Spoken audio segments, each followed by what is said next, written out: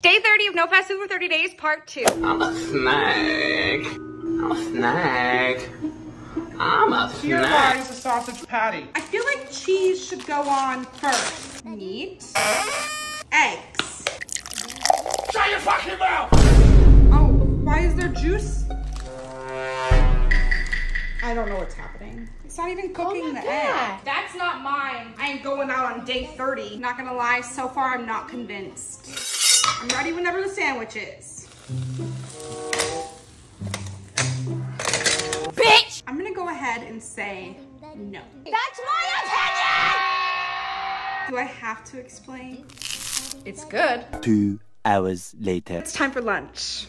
this is not sponsored, but we all know how I feel about HelloFresh. Chickpeas can come in a box. Classic Italian dressing. Almonds, apples,